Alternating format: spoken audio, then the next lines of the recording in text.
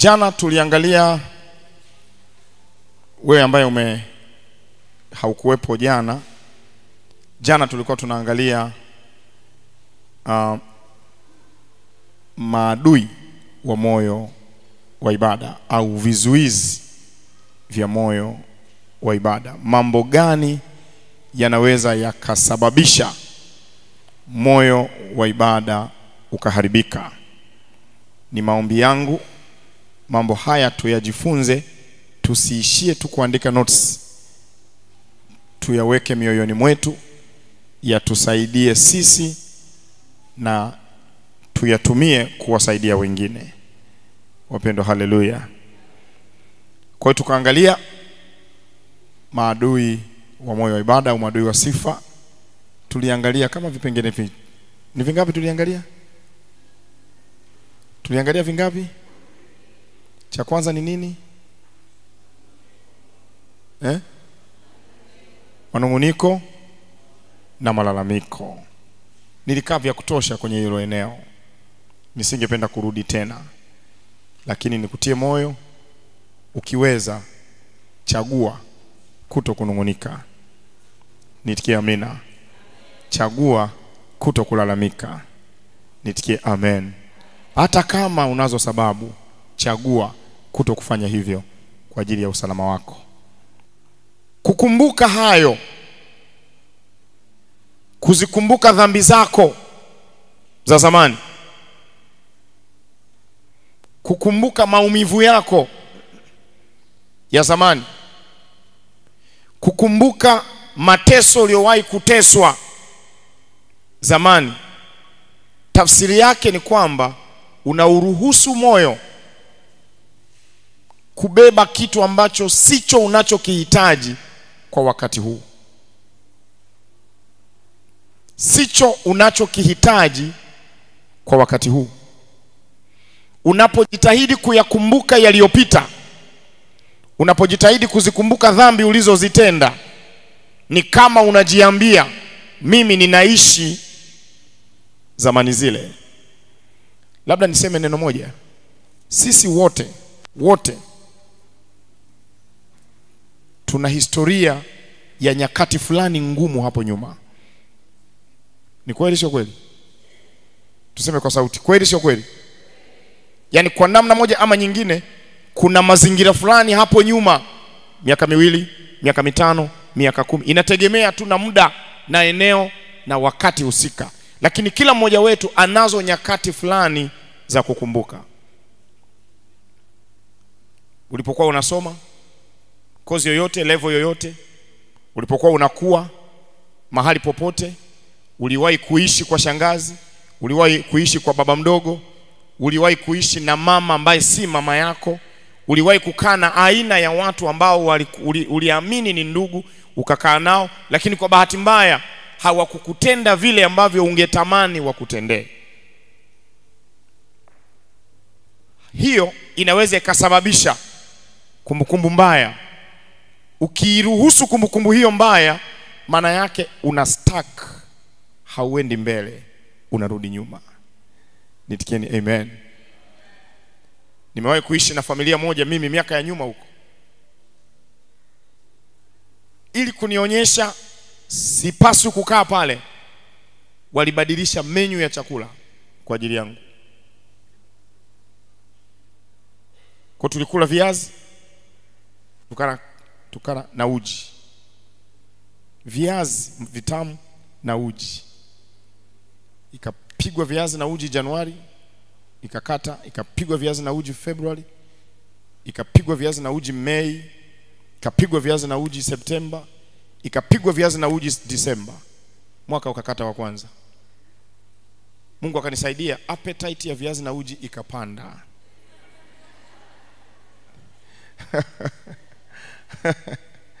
Wapendwa, haleluya! Ikapanda, yani appetite ya viazi na uji ikaongezeka kwangu, ikawa si adhabu tena. Jamani, haleluya! Nisikilize nikwambie, ukitaka kuwa salama, yatafsiri mambo kwa jicho la ibada, yatafsiri mambo kwa jicho chanya, yatafsiri mambo kwa picha ya uzuri na sio kwa picha ya ubaya. nitikeni amen. vinginevyo utaumia. Vya kuumiza viko vingi. Kama unataka kuudevelop moyo wa ibada, ya tafsiri mambo chanya. Chochote kitakachokuja mbele yako usikitafsiri kama kilivyokuja, kitafsiri vizuri, vinginevyo utajaza, utapile up, utakuwa na, ma, na, ma, na, ma, na mafaili kwenye moyo ya vitu ambavyo utadondoka siku moja, yaani unaanguka tu, maana una huyu una yule na wote una nini, mnaita hizi tunaita nini? Hizi note diary, umeandika notes. Nilishika diary ya dada mmoja ameandika notes, tarehe kumi na tisa mwezi wa tatu alinifanyia, akaliandika alilotendewa. Tarehe kumi na tisa mwezi wa tatu. Nika, ali, ni, mimi nilifanikiwa kusoma vitu vinne. Yani makosa manne ambayo yameorodhesha ya mtu wa karibu na yeye sana. Kama una diary ya namna hiyo, una notebook ya namna hiyo, nenda kaitupe, kaichane, kaichane, kaipige mafuta, piga kiberiti, na maanisha katika jina la Yesu. Usitunze kumbukumbu mbaya, tunza kumbukumbu njema. Meseji mbaya zilizokuja zikakuliza machozi, ondoa. Nenda kwenye inbox yako, ondoa. Nenda kwenye WhatsApp yako, ondoa. Vitu vyote ambavyo vimekutoa machozi hapo nyuma, ondoa. Nisaidieni kusema amina. Unataka kuwa salama, ondoa kumbukumbu kumbu ya mambo mabaya. Nisikilizeni, kuna watu mko hapa, umeolewa na mwanaume ambaye sio aliyekuchumbia mara ya kwanza, lakini kwa sababu ambazo hata we hujui, amkuoana naye. Kwa hiyo hapa ulipo unajiuliza, ningekuwa nimeolewa na yule jamaa. Saizi kateuliwa kuwa katibu mkuu wa wizara, maanake mimi ningekuwa mke wa katibu mkuu. Da, si ni mambo haya jamani. Sasa nimeolewa na shemasi maana badala ya katibu mkuu sasa uko na shemasi. Nikwambie kitu, nikwambie kitu, relax, sio mmeo tena yule ni kweli ni katibu mkuu, lakini sio mmeo wako. Ulimchumbia dada ambaye leo ndiye meneja wa TANESCO mkoa, kwa sababu ambazo zilikuwa nje ya uwezo wako, haukuoana naye. Huyo uliyeoana naye ndiye huyo aliyekusudiwa kuoana na wewe. Mpende, ishi naye kwa amani. sadini kusema amen. Yako mambo ukiyaruhusu, machozi yanatoka na yakitoka leo machozi, unaiharibu leo yako kwenda kesho. Kwa kusema hivi haimaanishi mimi sina ya, ya zamani, ninayo na yakumbuka na yajua. Fanya kila unachoweza kuhakikisha kumbukumbu hizo za zamani umeachana nazo. Nitikieni amen. Na shetani anajitahidi mno kutumia hivyo vitu, anajitahidi sana. Unajua Mungu anatutoa hatua kwenda hatua nyingine, kadri anavyozidi kukupandisha Shetani huwa anajitahidi na yeye kukukumbusha yale uliyokosea. Akikukumbusha sana, badala ya kunyong'onyea, ongea naye, mwambie shetani, najua, najua unanikumbusha kwamba nilitoa mimba nikiwa form 6. Nakumbuka, sio kwamba sikumbuki. Alafu uliona hiyo moja tu, nilikuwa na jingine nililofanya, nilipiga tukio jingine kubwa kuliko hilo. Mkumbushe adui ukiweza mkumbushe na tarehe na mwezi, mpe na evidences za ulichokifanya. Alafu kimaliza kuorodhesha matukio yako yote mabaya yale ya nyuma ambayo amekukumbusha, mwambie yote haya kwa ujumla wake yalishapita, Bwana amenisamehe. Saidieni kusema amen. Uko hapa madhabauni umeongoza praise, Roho ameshuka. Ma, maandiko yanatuambia vizuri sana, mshtaki wetu adui hayuko mbali na sisi. Uko hapa umehubiri, shanga nguvu za Bwana zimewashukia watu, wingu limeshuka limetanda, watu wananena kwa lugha, unanong'onezwa tu hivi. Unakumbuka hivyo? Unakumbuka wakati uko chuo mwaka wa kwanza? Unakumbuka hivyo? Unakumbuka wakati unasafiri kutoka Dodoma kwenda Singida? Wewe unakumbuka ulichofanya? Unashangaa, ule moyo unafanya nini? hata mtu akikutazama anaona kuna kitu cha tofauti kimetokea, na wakati mwingine uweze ukaelezea kilichotokea, maana ni wewe uliyekumbuka. Ukitaka kuwa salama, usipingane na hiyo kumbukumbu. Kubaliana nayo na umwambie adui nakumbuka. Asante kwa kunikumbusha. Bwana alishanisamehe. Saidieni kusema amen. Maandiko yanatuambia vizuri sana. Hata imekuwa mtu akiwa ndani ya kristo amekuwa kiumbe gani? Kipya. Ya kale bado yapo si ndio? Ya kale bado yapo si ndio? Ya kale yamepita tazama yamekuwa mapya. Mimi siishi katika yale ya kale naishi katika upya huu wa sasa katika kristo yesu. Niitikieni amen. Wanaoendesha magari wanafahamu barabarani. Ukitaka kuendesha gari vizuri focus unakokwenda. Akili macho masikio vyote ikisikika honi lazima ujue honi ni ya nini. Sijui mnanielewa vizuri? Ukiona chochote njiani dereva aliye makini hagongi chochote barabarani. Hagongi chochote. Maana huwezi kujua kina nini. Maana yake macho yako yako pale. Fuatilia. Ajali nyingi zinapotokea fuatilia. Zaidi ya asilimia tisini ya ajali nyingi zinazotokea waulize madereva. Atakwambia ama niliinama kujibu text ama nilipitiwa kidogo na usingizi. Ama niliondoa macho njiani. Sijui nanielewa vizuri eh? naeleweka wapendwa? Yes. Huko barabarani unaendesha gari labda kuna kifoleni kwa hiyo mnakwenda taratibu. Ukiwa makini utakuwa salama. Usipokuwa makini ule, ule, ule, ule mwendo wa taratibu ukiondoa macho kidogo ukiondoa mawazo yako kidogo utamgusa aliye mbele. Na kumgusa mtu kwa gari tafsiri yake ni nini umegonga. Wewe ni dereva wa maisha yako. Focus macho yako kwa bwana yesu. Tunza moyo wako kwa jina la yesu. Biblia inatuambia linda sana moyo wako kuliko yote uyalindayo. Maana huko ndiko zinakotoka chemichemi za uzima. Nisaidieni kusema amen. Maneno hayo ukiyageuza upande wa pili usipoulinda moyo wako huko zitatoka chemichemi za mauti nina andiko hilo hilo moja. Ikiwa zinatoka chemichemi za uzima huko huko zaweza kutoka chemichemi za nini? Za mauti. Maana kwenye moyo ndiko vinatoka vitu vyote. Maombi yangu mimi bwana tupe neema to develop moyo wa ibada katika jina la yesu.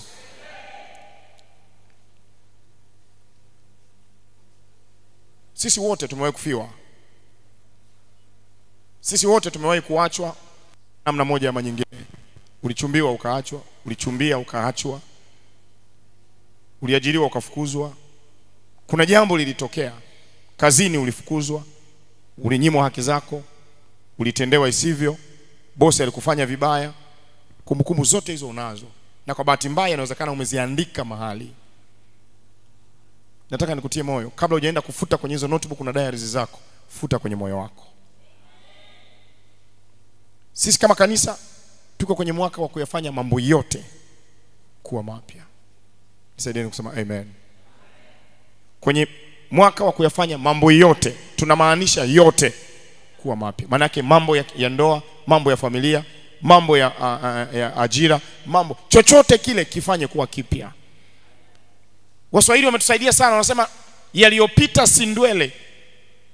Hayana thamani yaliyopita yasitu- yasi- yasitushughulishe yaliyopita. Tusishughulishwe na yaliyopita. Tugange yaliyopo na yajayo. Saidieni kusema amen. Walikuchumbia wawili watatu wakakuacha. Achana nao. Mwambie bwana naanza moja sasa. Haleluya alafu weka standards. Weka standards. Weka viwango. Thamani yako hawezi kukupa mtu wewe ndio unaweza ukajipa thamani. Binti moja akaniambia mchungaji kuna kijana moja amenitumia message ameniambia ananipenda anataka kunioa. Nilimjibu kirahisi tu. Nilimjibu kirahisi tu. Amekutumia message. Yuko nje ya nchi. Akasema ah, yuko hapa hapa. Yuko nafikiri Arusha. Yes. Nafikiri Arusha. Hiyo mikoa ya kaskazini. Kaambia okay. Umemjibu nini kabla sijamjibu nimeona nikuone. Mm. umepanga kumjibuje pasta nimeona nikuone kwanza. Nikamwambia natamani kujua unataka kumjibu nini. Nikamwambia mimi ndio ningekuwa mchumbiwaji nisingemjibu chochote. Sidhani kama thamani yako wewe ni ya shilingi hamsini na sita tu ya text message. Yaani kama anakupenda kweli asingetuma text message. Angepanda ngorika angeshuka ubungo angepata tafuta appointment. Angekaa na wewe angekaa na mimi mchungaji wako. Angelipa gharama ya kuja kukuona kuzungumza na wewe. Leo kuna mabinti mko hapa mna text message za watu. Mnazikumbatia kila siku mm.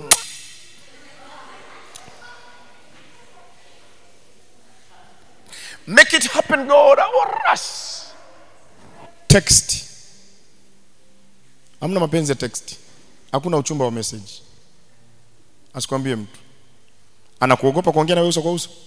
Na mwingine yuko hapa hapa da? Hapa hapa. Text message hata ingekuwa simu. Onana na mtu uso kwa uso. Nisaidieni kusema amen. Uso kwa uso. Wakati anaongea maneno ya kinywa huwa yanausema moyo. Alafu macho huwa yanatafsiri moyo na kinywa maana inawezekana anakwambia nakupenda lakini ukicheki macho hakupendi. Anaweza akasema hapana kumbe moyoni anasema ndio. Kwa nini msionane? Usiorodheshe kwenye wachumba waliokuchumbia. Futa hao kama walikuchumbia kwa simu. Futa hujachumbiwa. Usiingize kwenye idadi. Mchumba aliye serious ni yule anayekutafuta anaongea na wewe uso kwa uso. Usiniletee taarifa za uchumba wa message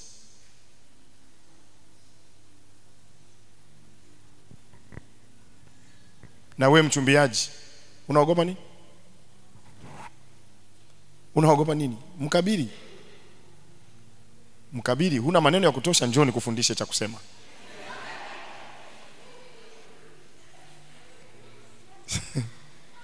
Sasa unaogopa unatuma text alafu unakuja kuishi naye nyumba moja.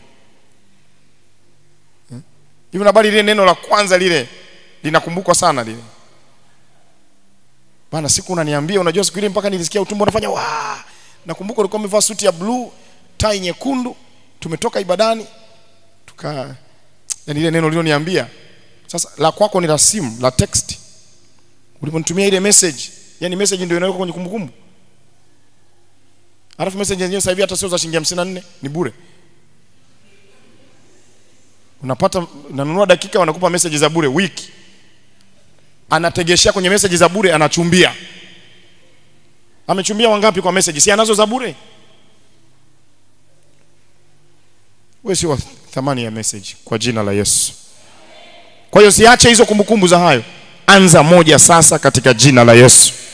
Nasema anza moja sasa katika jina la Yesu.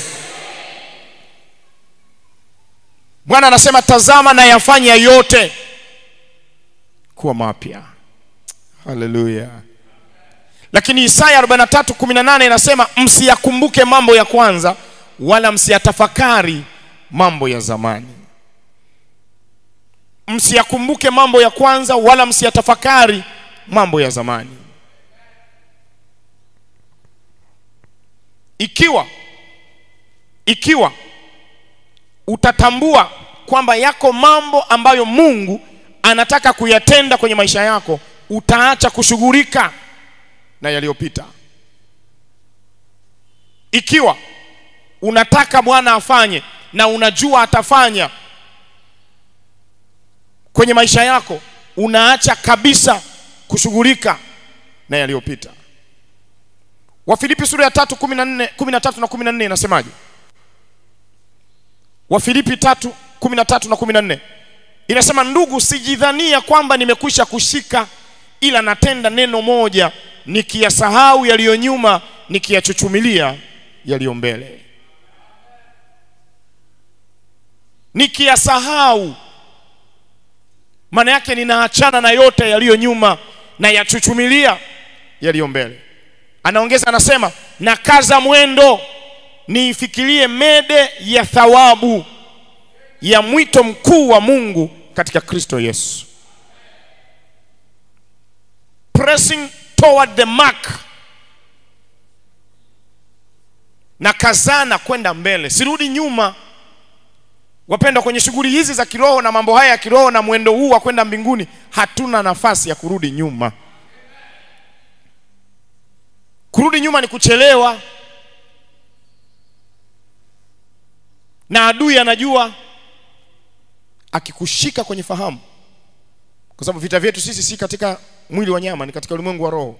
Anakuja kwenye mind yako anacheza na ufahamu wako anakuletea anachola mchoro wa mambo ya zamani alafu anakupa anakushughulisha na hayo.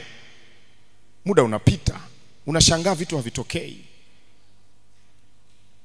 Sikizeni, nimesema sana na sitaacha kusema mwaka hauji na chochote kinachoashiria sasa tumeingia mwaka mpya ukiangalia kila kitu ni kile kile mavazi yetu ni yale yale.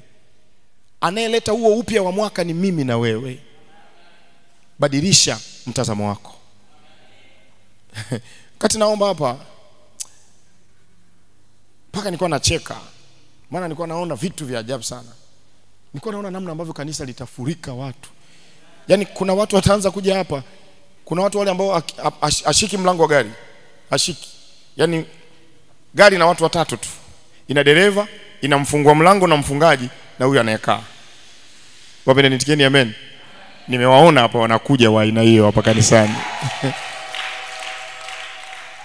Maana aonavyo mtu nafsini mwake ndivyo alivyo. Vile unavyoona ndivyo unavyosema.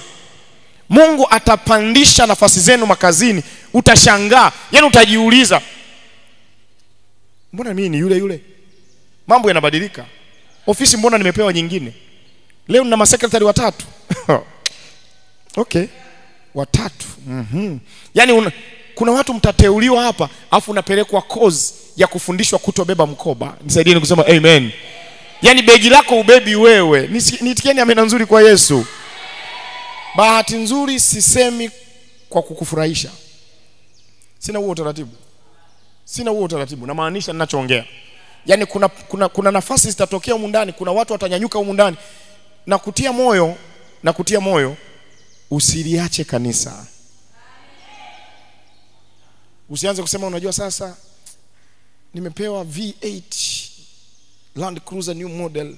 Hizi barabara mbovu. Hizi barabara mbovu ndio zimekupa hiyo land cruiser new model hiyo. Haya matamko ndio yamekupa hizo hatua. Nitikieni amina nzuri kwa yesu ninachosema ninamaanisha katika jina la yesu. Kuna vitu mtavifanya kwenye ofisi zenu hata huyo bosi anakaa pembeni anakuuliza samahani samahani uh, ni kwa vile tu sasa status zinakataa. Yani mimi ni bosi wako lakini ulipaswa uchukue mshahara mkubwa kuliko mimi. Kwa nini? Performance yako. Performance yako. Nilikuwa naongea na kijana wangu mmoja jana amepimwa performance katika vitu vitatu cha kwanza na tisini na tano cha pili ana mia kwa mia cha tatu akasema tusubiri kidogo tupate muda wa kutafakari. Maana hayo matokeo yanabadilisha malipo. Hayo matokeo yanabadilisha mshahara. Hayo matokeo yanabadilisha aina ya bima. Hayo matokeo yanabadilisha aina ya vocha. Hayo matokeo yanabadilisha kiwango cha mafuta kwa mwezi. Semeni amina kubwa kwa yesu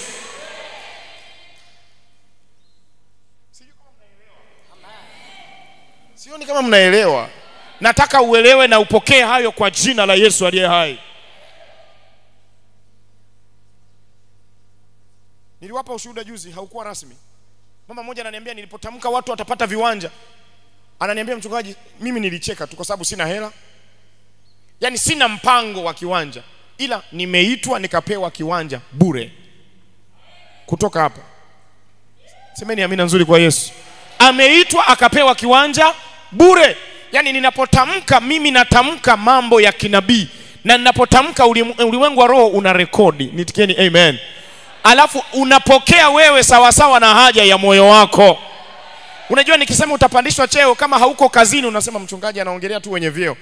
Kupandishwa cheo sio lazima aliyekuwa eh, nafasi ya chini apande juu kazini. Inawezekana huna nafasi ya kazi hujaajiriwa. Lakini bwana anapopandisha wengine kazini anakupandisha wewe daraja la maisha anapandisha wewe kipato chako, anaongeza mtaji wako, anakuongezea wateja, anafungua milango ya biashara. Ulikuwa huwezi kwenda Kariakoo, sasa unaenda Kariakoo mwenyewe. Ulikuwa unaenda Kariakoo, sasa unaenda Kampala Uganda. Ulikuwa unakwenda Kampala, sasa unawaza kwenda China. Ulikuwa unakwenda China, sasa unawaza kwenda Hong Kong. Ulikuwa unaenda Hong Kong, sasa unaagiza behewa. Ulikuwa unaleta behewa moja, sasa unaleta container 40 feet Dar es Salaam.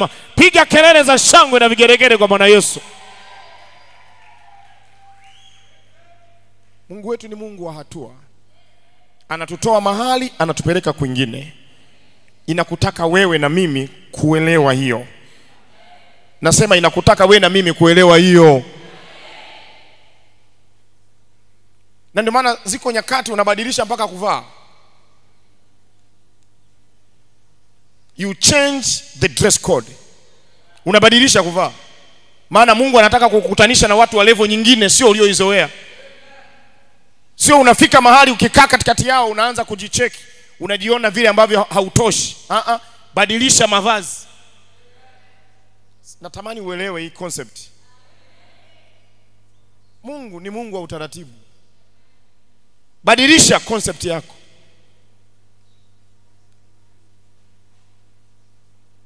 Ana kusudio kubwa la kunitoa mahali kwenda mahali kwingine. Mungu anabadilisha mpaka aina ya watu huwa anabadilisha mpaka marafiki. usinyangane na mtu sema, jamani, tulitoka naye kijiji kimoja. Kijiji kimoja ndio nini? Tulisoma naye, ndo aliyenipokea chuo, asingekuwepo ungepokelewa na wengine. Yaani mimi kaka nikimwona jamani, uh-uh. wakati wako wewe na yeye umeisha. Yaani Mungu anakupeleka, yaani anakupeleka mahali ambako huyu hawezi, hana ushauri wa kukupa unahitaji watu wengine wapya. Semeni amina, watu wengine wapya. Maana huyu aina hii ya rafiki uliye naye, ukimwambia kesho naenda Mwanza, anakuuliza una tiketi, unaambia nitapata tiketi asubuhi, maana natamani niondoke na ndege asubuhi. Hey, umejiinua jamani, umejiinua sana wewe, unapanda ndege. Yani hela zote hizo hivi, si ungenipa? Unagundua wewe na huyo ni watu wawili tofauti. You need to understand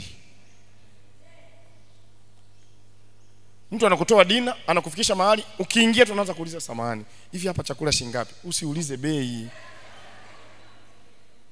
usiulize bei. Unaanza yani, wangenipa mimi hizi hela, wasingekupa. Na Mungu hana huo utaratibu, hakupi, hakupi, hakupi. Nimeingizwa hoteli moja mimi na watu, yani naingia ndani ya chumba nikicheki, kitanda kimoja, viwili, vitatu, ni vitanda vitatu, rooms tofauti mlango ulioniingiza ni mmoja, nikaambia utalala chumba namba fulani. Nikaingia kufungua, kwanza nafungua nakutana na sofa seti ya watu kama saba hivi, kuna friji kubwa, kuna simu. Ukitoka unakutana na kipande kingine hapo, kuna mashine ya kufua na mahali pa kunyoosha. Unaingiza kwenye kipande kingine, kuna bafu na toileti lake na mataulo yako huko. Unaingia kipande cha pili, ndio unakutana na chumba cha kwanza kikubwa, sita kwa sita, sijui ni nane kwa nane, ile mimi sijui lidude kubwa liko hapo. Ukitoka hapo unakutana na kitanda kingine, ukitoka hapo unakutana na kitanda kingine kimefungiwa, alafu kuna vyumba vipya vya toilets. Nne nyingine tofauti na ile ya kwanza tuliyokutana nayo kule nyuma, chumba kimoja. Nikaenda kwa mhudumu nikamwambia, naomba nijue bei. Sijui unanielewa eh? Nilipoambiwa bei nikamwambia, baba, nakutukuza, nitalala hapa, nitalala hapa hapa Tanzania, sio nje ya nchi, hapa hapa hapa hapa. Watu wakikupigia una we, wenyeji wa ule mji, umefikia wapi? Ukitaja usema ah, okay pastor, umefikia hapo eh? umefikia hapo eh? Sasa wakaja wakunifurahisha zaidi, wakaniambia unalala chumba gani? Maana wenyeji wanakijua kile chumba umelala. Ah, hapo tulimlaza fulani hapo, wanataja zile figures kubwa kubwa. Nikamwambia basi mimi niko kwenye hizo na nimezidi hapo. Sasa kanuni ya Mungu sio ya kukuacha pale pale, huo ndio utamaduni wake, lakini anataka kwanza uelewe. Nisaidieni kusema amen, maana usipoelewa wala utampa heshima. Utadhani ni connection zako, utadhani ni marafiki zako, utadhani ni mshahara wako kazini, utadhani ni supervisor wako ndiye aliye recommend ulale mahali pale. Mungu anataka utambue kwanza, maana kwa kutambua utampa yeye utukufu. Achana na kumbukumbu za mambo ya zamani, ni mbele kwa mbele katika jina la Yesu. Moyo huo Mungu anautaka, maana moyo huo utampa Mungu ibada. Saidieni kusema amen. Sijidhani kwamba nimefika. Huyo ni mtume Paulo. Sijidhani kwamba nimefika, sijidhania kwamba nimekwisha kushika, ila natenda neno moja tu, nikiyasahau yaliyo nyuma, nikiyachuchumilia yaliyo mbele. Nisaidie kusema kwa sauti, ninayachuchumilia yaliyo mbele. Sema nakaza mwendo, nakaza mwendo, nifikirie mede ya thawabu ya mwito mkuu wa Mungu katika Kristo Yesu. Kutazama nyuma kunapoteza lengo. Tazama nyuma kunapoteza lengo. Yesu anawaambia wanafunzi wake, atakayekwenda shambani kulima kisha akatia jembe chini akageuka kuangalia alikolima, huyo mtu hanifai. Usigeuke nyuma kuangalia ulitoa kiasi gani kanisani, unapoteza mwendo. Usiangalie nilikesha mara ngapi. Hatufanyi mambo ya namna hiyo. Focus kule Mungu anakotaka twende. Nitikieni amen. Mwanzo 19:26 anasemaje? Mwanzo 19:26. Lakini mkewe Lutu akatazama nyuma yake akageuka kuwa nguzo ya chumvi. Mkewe Lutu akatazama nyuma yake akageuka akawa nguzo ya chumvi. Wakati nayajifunza haya maneno ya mke wa Lutu, nilishangazwa na mambo kadhaa. Jambo la kwanza nikashangaa, huyu dada hajatajwa jina lake, hatajwi jina. Maana yake jina lake halikuwa muhimu, muhimu lilikuwa ni tukio. Muhimu lilikuwa ni tukio. Biblia imetaja majina ya watu wengi sana, lakini sio la udada. Udada hataji jina, anasema tu mke wa fulani basi. Wametajwa mpaka makahaba kwa majina, kina Rahabu kwa majina, lakini udada hakutajwa jina. Kwa nini? Tulikuwa tunaandikiwa sisi kufundishwa. Watu hawatakumbuka jina lako, watakumbuka ulichokitenda. Your name is not that much important. Jina lako sio muhimu sana, unafanya nini?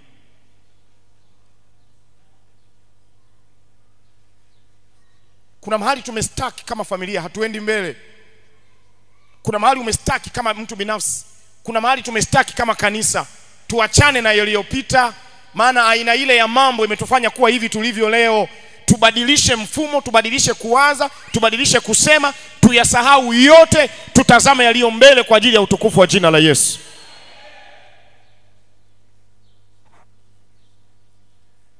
Haleluya. Wapendwa, haleluya.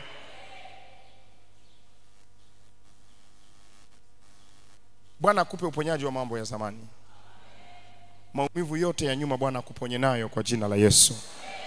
Bwana akupe moyo wa kuyasahau yaliyokuumiza. Bwana akupe moyo mpya wa kukumbuka mapya anayoyafanya sasa, katika jina la Yesu aliye hai. Mfano wa mwisho, alafu ni hame hapo.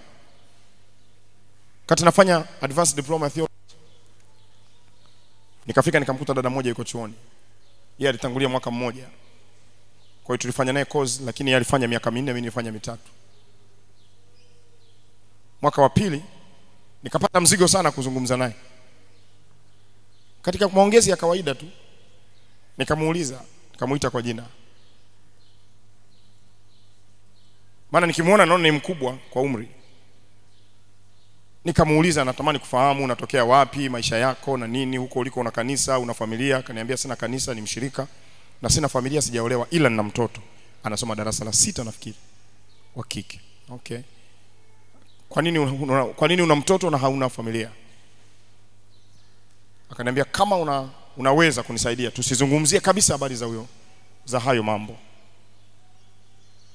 Nakumbuka aliongea kwa Kiingereza, akaniambia if you can do me a favor kama unaweza kunisaidia naomba tusiongee kabisa habari za hayo mambo kwamba nilipata mtoto na nini tusiongee. Unanitonesha kidonda. Niambia okay. Baadaye tuliweza kuongea. Haikuwa siku hiyo lakini muda ulipita. Baada ya kuongea alilia sana. Akaniambia nisingependa kukumbuka kabisa kile kitu. Na hii imenifanya niwachukie wanaume wote duniani. Wanaume wote ni manyang'au. Nikamwambia na mimi ni nyang'au. Akaniambia naomba unisamehe ila ndivyo ninavyowaona wanaume. Kilitokea nini? Alibakwa akiwa mwanafunzi. Tena mwanafunzi wa primary school. Na alipobakwa alipata ujauzito. Kwa hiyo mtoto ni mkubwa ukimlinganisha na yeye. Sijui mnanielewa wapendwa? Kwa hiyo hataki kusikia. Kwa hiyo hata, hajapo, hapokei. Hapokei mchumba hapokei mtu yeyote anaitwa mwanaume kuzungumza naye alishafunga milango. Kwa hiyo ameamua baada ya kuwa mungu amemwokoa na akamuita kwenye utumishi ameamua kuwa mchungaji ambaye kamwe hataolewa. Yaani yeye aliamua kufanya uchungaji kama usista. Ili asikutane na kero yoyote maana wanaume kwake wote ni manyang'au. Mungu akanipa neema katika kuzungumza naye nikamwambia unaenda kuchunga kanisa sasa. Mungu amekupa wito mkubwa sana tena wa thamani wa kichungaji. Unakwenda kukutana na watu wenye shida kama ya kwako. Utawasaidiaje? Maana wakija mezani kwako tu wanakutana na wewe wanaume wote ni manyang'au utafanya counseling kweli? Utasuluhisha ndoa? Sasa nisiende kwenye details. Namshukuru mungu baada ya maongezi marefu bwana alimfungua akapona. Nitikieni amen.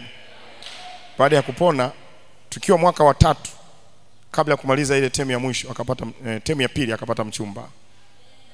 Haleluya nakumbuka alinitania akaniambia nakuona kama baba yangu. Yaani nakuona wewe kama baba. Namleta mchumba wangu umuone kwanza uongee naye wewe kabla sijapeleka ripoti kwa mchungaji wangu. Kamleta mchumba wake jamaa na nyota zake mbili za JWTZ tukazungumza. Mimi nikamwambia mimi naona huyu mpendo ameokoka na Bwana ameshakuvusha hatua amekupeleka kwingine kabisa kama moyoni una amani mimi sina neno naye. Tunamaliza chuo yani tunamaliza chuo Novemba alifunga ndoa wiki ya tatu. Leo ni mtumishi wa Mungu. Mzuri na ana familia yake. Kwa nini? Alipata mtu wa kumsaidia kuyasahau yaliyopita. Na yasema haya kukusaidia kuyasahau yaliyopita kwa jina la Yesu. Namba mbili namba nne jambo la nne. Nafikiri litakuwa la mwisho niende kwenye faida za sifa angalau chache kabla hatujamaliza siku ya leo. Jambo la nne kizuizi cha moyo wa ibada ni roho ya ujuaji. The spirit of high mindedness the spirit of high mindedness roho ya ujuaji.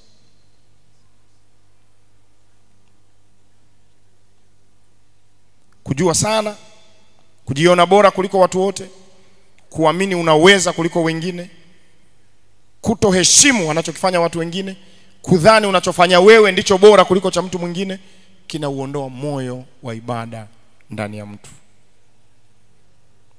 Unafika mahali unaiamini akili yako unaamini mawazo yako unaamini neno lako unaamini maamuzi yako unaamini ushauri wako hakuna mtu mwingine anaweza akafanya vizuri. Isipokuwa wewe. Na umefika mahali kila anayefanya unamlinganisha na wewe. Unaambiwa aisee fulani bwana ametusaidia ametujengea kanisa. Ha, ni ngapi kwa ngapi? Ah, lile kanisa ah, nafikiri nafikiri miguu ishirini na tano kwa ishirini. Mwaka juzi nilijenga kanisa mahali mimi. Yaani kila kinachosemwa wewe unakijua zaidi. Naomba nikutie moyo. Roho hiyo kama unaisikia inainuka inuka huko ndani yaambie kwa jina la Yesu teremka. Nitikieni amen. Nitikieni amen. Hiki ni kifaa cha hatari sana kwa maisha ya mwamini hasa anayetaka kudevelop moyo wa ibada hiki ni kifaa cha hatari sana kwa mwamini hasa anayetamani kuukuza moyo wa ibada. Tusome maandiko yafuatayo. Eh, Timotheo wa pili tatu mstari wa pili na mpaka watano. Timotheo wa pili sura ya tatu mstari wa pili mpaka watano. Haujafika bado? Timotheo wa pili sura ya tatu mstari wa pili mpaka watano. Wasiowapenda wakwao, Wasiowapenda wakwao, wasiotaka kufanya suluhu, wasiotaka suluhu, wasingiziaji, wasingiziaji. wasiojizuia, Kama rudia tena, wasio wasiojizuia, wasiojizuia, wakali, wakali, wasiopenda mema, wasiopenda mema, wasaliti, wasaliti, wakaidi, wakaidi, wenye kujivuna, wenye kujivuna, wapendao anasa kuliko kumpenda Mungu. wapendao anasa kuliko kumpenda Mungu. Umemaliza mstari wa tano? Bado mstari uh -huh. wa tano, uh -huh. wenye mfano wa utaua, lakini waki, wakikana nguvu zake. Wanajifanya wanajifanya ni wana kondoo, kumbe ni mbwa mwitu wakali. Ehe. Hao nao ujiepushe nao. Watu wa aina hiyo kaa mbali nao. Inatosha. Watu wa Mungu, Bwana asifiwe. Nisikilizeni wapendwa, leo makanisani tunao watu wa namna hiyo, wajuaji, wanakosoa mpaka mahubiri, wanakosoa mpaka mapambo, kila kitu kwao kina kasoro. Mimi nimesoma na jamaa mmoja chuo cha Biblia akihubiri mtu vizuri, mnatoka watu mnasema ah, hey. Jamaa amehubiri vizuri jamani. Unamsikia jamaa anasema yani mnaweweseka mapema nyie. Amehubiri vizuri yule. Nimeshindwa kuelewa, mimi nimeshindwa kuelewa. Kulikuwa hakuna compatibility ya kichwa cha ujumbe na body. Amehubiri vizuri kitu gani? Ikapigwa siku moja worship, kapigwa vizuri worship, roho ameshuka alikuwa anapiga kijana mmoja tena anasoma darasa alikuwa anasoma kozi ya Kiingereza. Kinanda chenyewe ni kibovu. Hatukuwa na kinanda kizuri. Kinanda ni kibovu, batani zake zinacheza cheza hivi. Imepigwa worship, kila mtu anatoka anasema kwa kweli leo tumemwabudu Bwana. Yule jamaa akasema I say sielewi nitawasaidiaje. Ana yani hajui atatusaidiaje sisi tunaoisifia ile ibada. Akasema kwa kinanda kipi? Kinanda kinachoruka button? Si- sijui mnanielewa eh? Hakuna siku, hakuna siku. Siku moja tumepokea chakula dining hall, tumekaa mezani tunakula, alipiga kelele tukiwa kwenye dining, mpishi wa maharage nani huyu? Jamani, sijui mnanielewa vizuri eh? Tukaja tukapata story tu- ilitushangaza sana. Amekaribishwa mahali, amepewa msosi mama wa watu amemkaribisha vizuri sana, amempikia kuku wake, anakula pale. Wakati anakula akamuita, akamwambia samahani, hivi kuku alikuwa kishingo eh? Kuku nini? Kishingo. Jamani, kishingo na asiye kishingo, ladha tofauti. Eh, tuongee vizuri. Ni to- ladha tofauti. Yaani amejaa kukosoa. Kwake hakuna zuri. Naomba nikwambie mtu wa namna hiyo usifanye naye urafiki. Anakupeleka jehanamu ya moto. Mtu wa namna hiyo atamsema kiongozi wake wa WWK, atamsema kiongozi wake wa CAs, na mtu wa namna hiyo amegraduate, anamsema mpaka mchungaji. Mtu wa namna hiyo anamsema mpaka mama mchungaji. Mtu wa namna hiyo anamsema mpaka mwangalizi wa section. Mtu wa namna hiyo anamsema mpaka askofu. Nataka nikwambie, unakusanya laana, unasogeza kifuani kwako. Kuna vitu utakiwa kugusa hata kidogo. Kaa navyo mbali, kaa navyo mbali. Narudia, kaa navyo mbali kwa jina la Yesu. Na kwenye moyo wa namna hiyo hakuna moyo wa ibada, hakuna. Asikwambie mtu.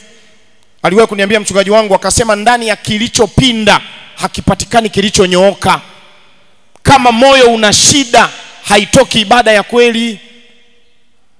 Lazima tushughulike na kule kupinda, kunyooshwe kwanza, kisha ibada ya kweli tuitafute tena. Saidieni kusema amen. Kaa mbali na mtu wa namna hiyo, kaa mbali. mtu ambaye anamisi ibada na hajisikii vibaya mtu ambaye ameshindwa kutekeleza yaliyopangwa na wenzake na bado haimuumizi kuna watu hapa tunatangaza tuna- maombi ya siku ishiri na moja. Nataka nikuhakikishie nataka nikuhakikishie wanakula kwa raha zao na wala mioyo haiwaumi. Haiwaumi. Hawafanyi vizuri. Hawafanyi vizuri. Kwa sababu kuna mapatano tumefanya si ndio? Yes. Kuna mapatano tumefanya. Na wanakutia moyo kula na akikukuta unakula na, yani wala haimsumbui. Ngoja niwaambie tunapojadili mambo ya kiroho tunajadili mambo ya viwango vya juu sana. Huku duniani ni kubaya. Huku duniani ni kubaya. Kuna kila aina ya uchafu. Ni vile mungu ametuficha kuna vitu hatuvioni na hatuvijui. Hatujui kinachoendelea. Usiuchezee huu wokovu hata kidogo. Usimchukulie mungu kawaida kama kuna vidude dude vidudedude kuna makandokando uliyafanya miaka iliyopita na ukabaki salama usidhani mungu amelala. Alikupa neema tu rekebishe hayo ukae sawa. Na bwana amem, amemleta nabii aseme na wewe ili kukusaidia urekebishe yaliyokuwa yameharibika. Maana yake hii sauti inawezekana ikawa ndio sauti yako ya mwisho. Nitikieni amen. Haya ninayoyasema yanakusaidia na yananisaidia mimi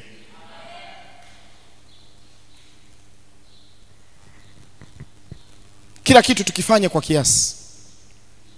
Kama unataka kumkosoa mtu mkosoe kwa, kwa upendo. Tunaita eh, eh, eh, eh, eh, constructive criticism. Mkosoe mtu kwa kumsaidia kufanya vizuri kesho. Mtu amefanya amefanya huduma hapa akafanya vibaya. Mtie moyo. Jamani mnanielewa vizuri eh? msaidie. Hujasoma kitabu cha Isaya sura ya 41 maandiko yanasemaje? Wale watu walitiana moyo. Kila mmoja akamtia moyo mwenzake.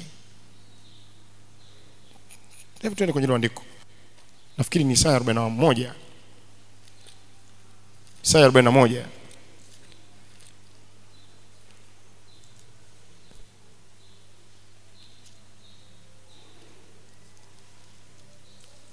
Aha, 41.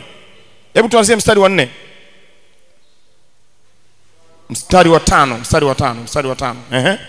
mstari wa tano biblia inasema visiwa vime, visiwa vimeona vikaogopa ncha za dunia zilitetemeka walikaribia walikuja wakashi, wakasaidiana kila mtu na mwenzake kila mtu akamwambia ndugu yake uwe na moyo mkuu seremala akamtia moyo mfua dhahabu na yeye alainishaye kwa, kwa nyundo akamhimiza yule apigae fua apigae fuawe akisifu kazi, kazi ya kuunga akisema ni kazi njema naye akaikaza kwa misumari isitikisike Asante sana. Sikiliza kidogo hapo. Hawa wanafanya kazi moja, lakini kila mmoja ana kitengo chake. Huyu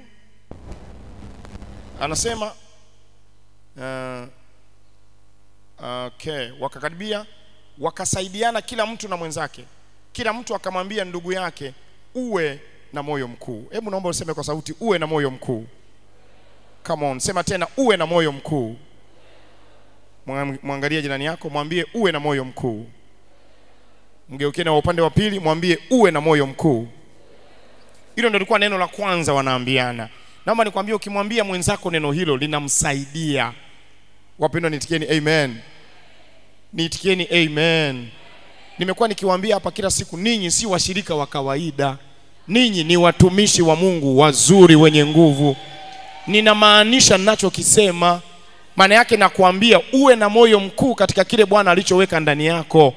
Kifanye kikatokeze kwa jina la yesu.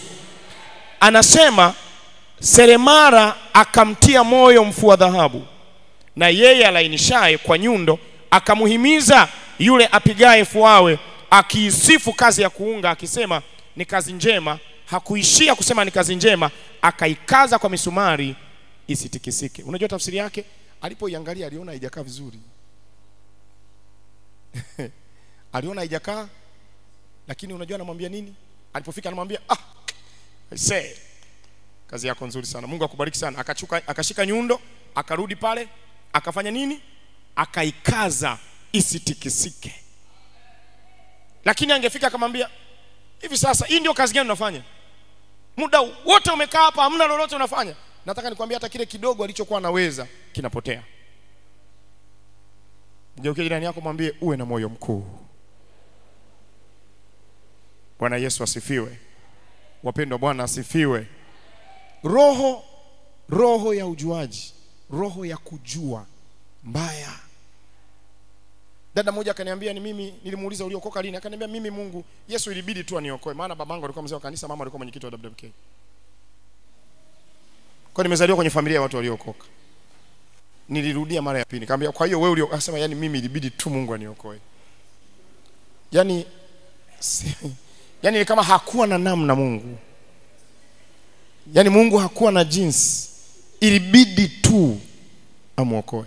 Wapendwa ni kweli? Wapendwa ni kweli? Huo ni ujuaji. Roho mbaya sana ya ujuaji. Haifai. Tia moyo kazi za wengine. Semeni amen. Tia moyo kazi za wengine.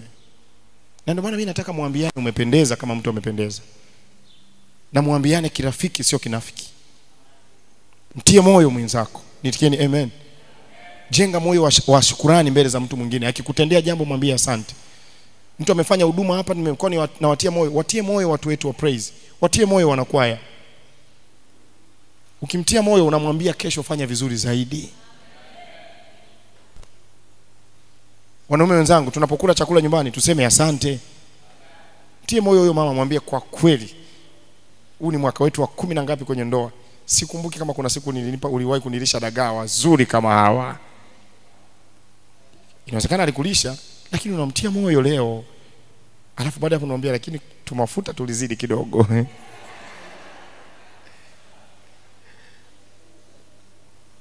Hivyo nafikiri ndoa zinavunjwa na mambo magumu.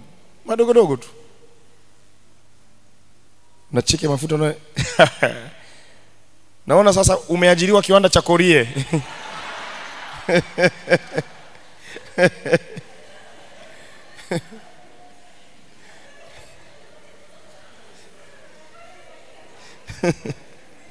mwambie jirani yako uwe na moyo mkuu. Mwambie uwe na moyo mkuu. Haleluya. Wapendwa haleluya. Kila mmoja wetu kuna mahali anakwenda na kila mmoja wetu kuna kitu anakitamani kutoka kwa bwana. Mungu atupe neema tupafanye mahali hapa phid pawe mahali pazuri pa kukaa tutiane moyo tufarijiane.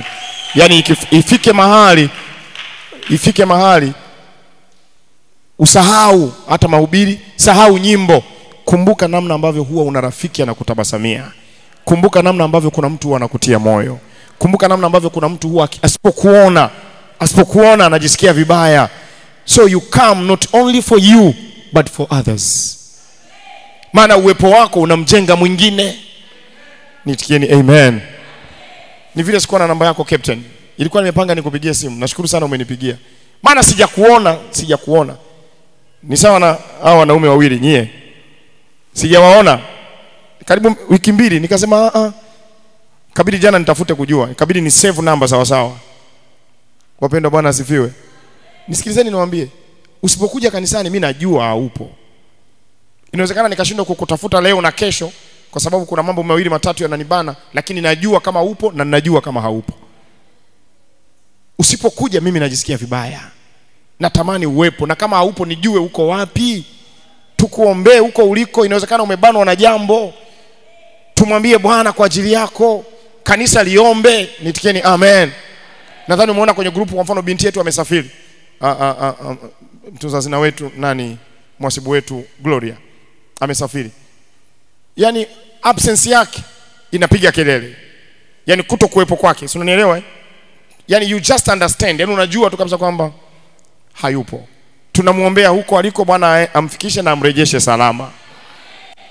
Amekuwa na mambo kidogo ya, ya, ya kifamilia alipata msiba kwa hiyo ameenda kuwasalimia familia nyumbani. Wapendwa bwana asifiwe. Bwana Yesu asifiwe.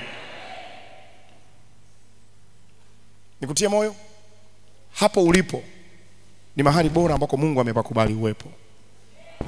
Mwambie Mungu, hapa nilipo napakubali na paheshimu, na ninaheshimu uchukuaji wako ulionifikisha hapa.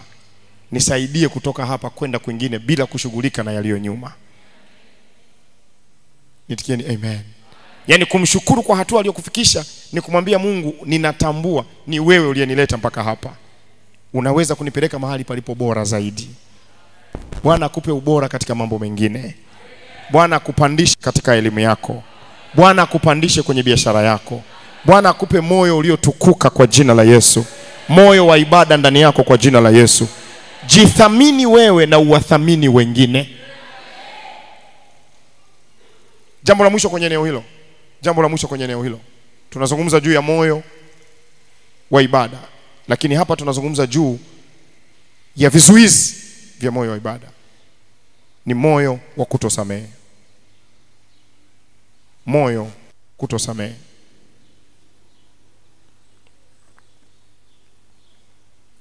Moyo wa kutosamehe.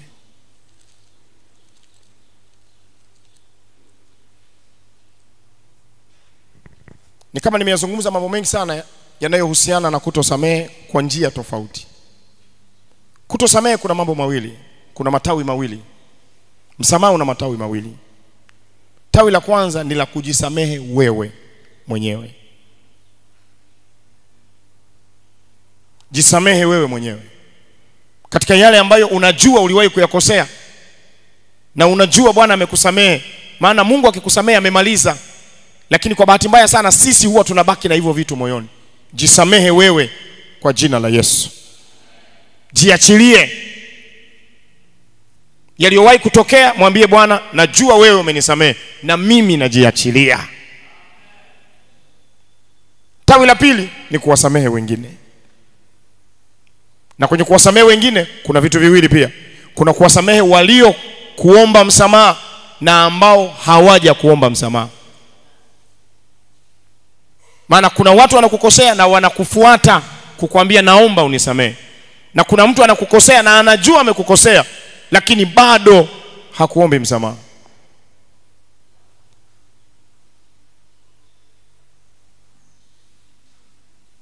Mtu mmoja aliniambia sitakuja kwenye harusi yako, aliniambia kwa kiongozi wangu mmoja hivi, sitakuja kwenye harusi yako. Siku ya harusi nimeshavaa suti, best man wangu amevaa suti, tulikuwa sisi na wale na vile vitoto vidogo vile, kitoto ka kiume kamevaa suti, tunasubiri teksi ije itubebe kutupeleka kanisani. Akaja nyumbani kwangu akaniambia, nimekuja kukukumbusha, nilikwambia sitakuja kwenye harusi yako.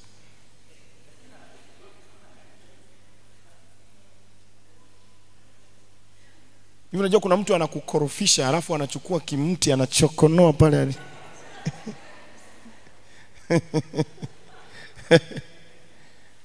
na huyo naye msamehe, hata kama hajaomba msamaha.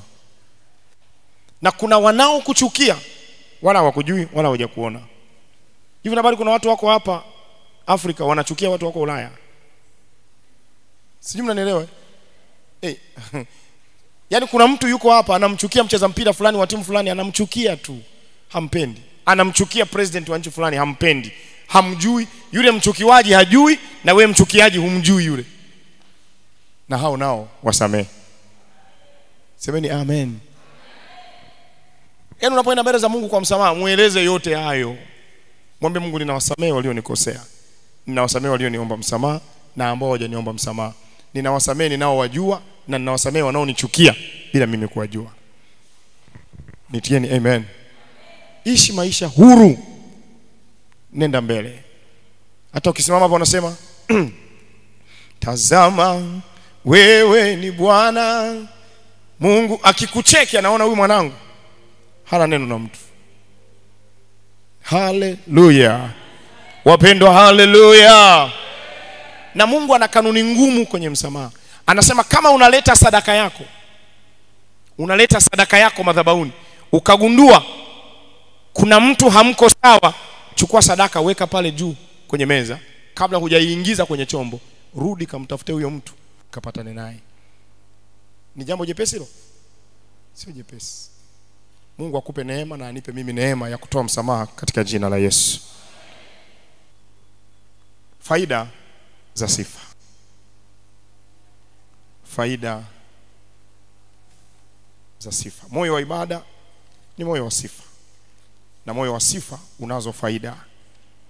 Nakumbuka kama nili niligusagusa kidogo tulipojifunza kwa mara ya kwanza kama tuli tuli tuliangalia vitu hivi basi utaandika kama notes lakini na uhakika vitakuja kwa mfumo mpya kwenye maisha yako. Kusema amen.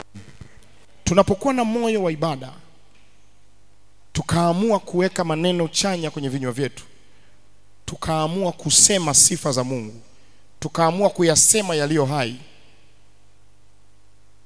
unajua ninapozungumza kuyasema yaliyo hai unajisemea wewe unamsemea mmeo unamsemea mkeo unawasemea watoto unawasemea ndugu unalisemea kanisa unalisemea taifa. Saidieni kusema amen. Hauungani kabisa na wanaoongea negative. Kwa nini? Ma, maisha yangu mimi na wewe maisha yetu sisi watu tuliokoka hayategemei bajeti za serikali zinasemaje. Sio kama mnanielewa vizuri hayategemei. Kwa hiyo usiungane na wanaosema mwaka huu kuna ukame sana. Hali itakuwa mbaya sana. Wasikilize ukimaliza badilisha statement. Waambie ni kweli kabisa. Kwa sababu hata hivyo imani haikani ukweli. Faith does not deny the truth. Imani haikani ukweli. Lakini inabadilisha hali ya hewa. Saidieni kusema amen. Mwambie ni kweli hali ya hewa sio nzuri. Mvua hazinyeshi lakini hatutakufa nasema hatutakufa. Nataka uwe na moyo huo katika jina la yesu. Na usiwe tu na moyo huo uuseme moyo huo. Yaseme maneno hayo kwenye kinywa chako. Mwanao amefeli darasani mwambie najua umefeli hii mara moja kati ya mara nyingi utakazofaulu. Usiungane na watu wanaomwambia kichwa kimejaa maji wewe. Huna akili wewe. Muone jinsi alivyo. Kichwa kama baba yako kichwa kama mama yako. Simkeo huyo lakini huyo mama yake si mkeo? huyo baba yake si mmeo? tusibadilishe maneno kwa sababu ya hasira. Sijui mnanielewa vizuri eh? Nauliza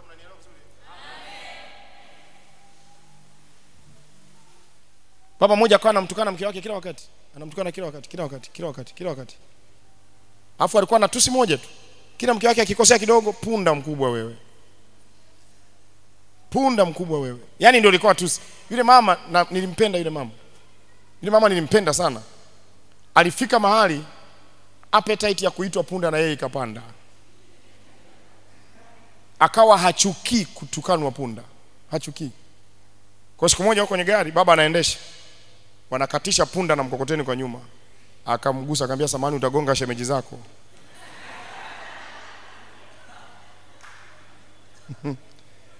akaambia alikuwa hajaelewa huyu akaambia sijaelewa. Akasema utagonga shemeji zako. Wale wanakatiza njia wale. Mimi nina ushemeji na punda. Unaniambiaga mimi nani?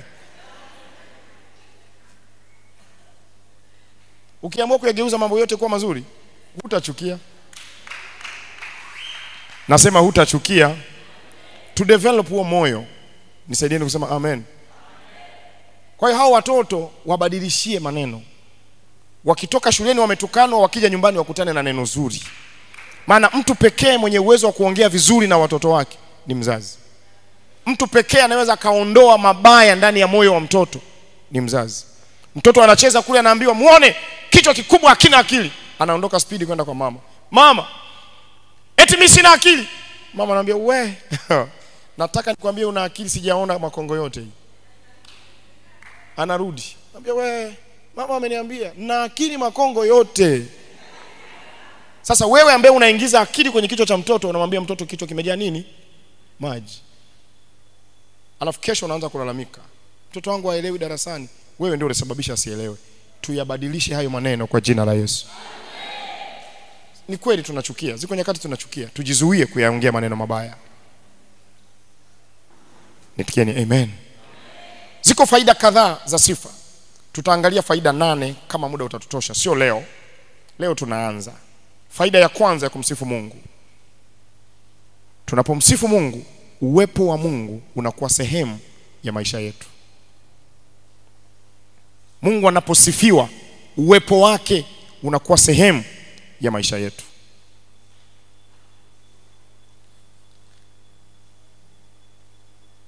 Uwepo wa bwana unakuwa sehemu ya maisha yetu. Na nikwambie kitu tunaposema uwepo wa bwana maana yake tunamsema bwana mwenyewe. Yaani kama bwana yupo kama uwepo wa bwana upo maana yake bwana yupo. Sio kama hicho kiswahili kinaeleweka. Tuko kwenye sherehe mc anasema nataka nitambue uwepo wa mama mchungaji timothy mwita hawezi kusema nataka nitambue uwepo wa mama mchungaji mwita kama mama mchungaji mwita naye amewakilishwa. Sijui kama mnanielewa vizuri? Yaani anaposema nataka nitambue uwepo maana yake anamsema huyo akiwepo. Tunaposema uwepo wa bwana unakuwa sehemu ya maisha maana yake wewe unatembea na uwepo wa bwana. Na kama unatembea na uwepo wa bwana maana yake bwana yuko pamoja na wewe.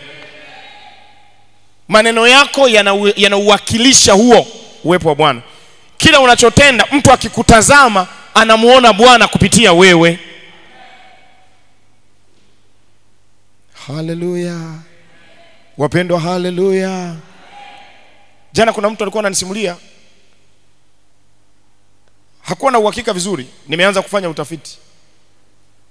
Kuna waimbaji walio ambao ni wahubiri wa injili miaka ya nyuma sana. Huyu mzee sasa amezeeka na umri mkubwa anaitwa jimmy swagat nasikia amewahi kupiga kinanda alikuwa anapiga kinanda wakati anapiga akaondoka yani mikono ikatoka lakini kinanda kikaendelea kupigwa na mtu asiyejulikana. Si unaelewa hiyo eh? yaani kinanda kinaendelea kulia lakini mikono ya yeye iko pembeni. Maana yake anayepiga si yule aliyekuwepo. Watu wa mungu niitikieni amen. Uwepo wa bwana ukiwepo mahali yanayofanyika si ya kawaida. Yanafanyika mambo ambayo ni extraordinary mambo ambayo akili ya kawaida haiwezi kayatafsiri. Yanafanyika mambo ambayo hata we mwenyewe ukiangalia unajiuliza kwani kuna nini kinaendelea? Mungu anaposifiwa uwepo wake unakuwa sehemu ya maisha yetu. Saidieni kusema amen. Na ndio maana dunia imejaa aina nne kuu za watu. Wanasaikolojia wamewagawanya watu katika makundi makubwa manne. Kuna masanguine ambao wao wanaongea. Ni wepesi kuongea wepesi kutengeneza marafiki. Wana, ni wacheshi. Wepesi kutoa msamaha ni wepesi kuomba msamaha. Wepesi kusahau. Melancholy ni kinyume chake. Ni watulivu. Wanaowaza sana. Wakati sanguini haogopi kukosea melancholy anaogopa sana kukosea. Anaweza akatumia muda mwingi sana kukifanya kitu kimoja ili asikosee. Mpaka wakati mwingine anakosea kwa kutamani kuto kukosea ni mtu mgumu kutoa msamaha lakini pia na yeye ni mgumu kuomba msamaha. Mnaitirafiana leo mnaombana msamaha leo next week anakukumbusha anakwambia samahani hivi wiki iliyopita wakati umenikanyaga pale kwenye ngazi ulikuwa na maana gani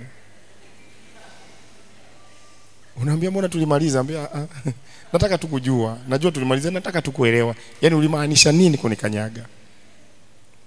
Kundi la tatu ni makaleliki koleriki ni mtu ambaye kwanza anaamini katika kuvunja rekodi. Haogopi. Haogopi kulia yeye haogopi kuuliza mwingine. Haogopi machozi ya mtu. Nao ndio leo tutengenezea msemo unasema punda afe mzigo ufike yaani kwake sio ajenda. Sijui mnanielewa vizuri eh? akisema pale pana mlango lazima mlango utokee. Okay.